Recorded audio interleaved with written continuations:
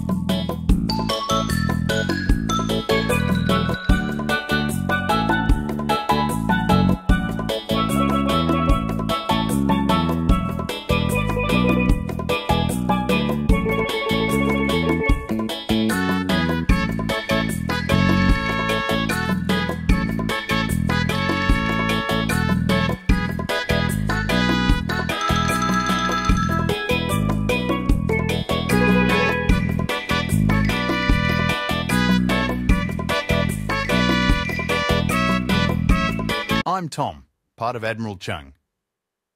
He's 30,000 strong crew across his fleet of hundreds of ships. Primarily a sailor, I'm also trained for battle when needed. Whether guiding our vessels or defending them, I serve with unwavering dedication and resolve, ensuring our voyage's success and everyone's safety.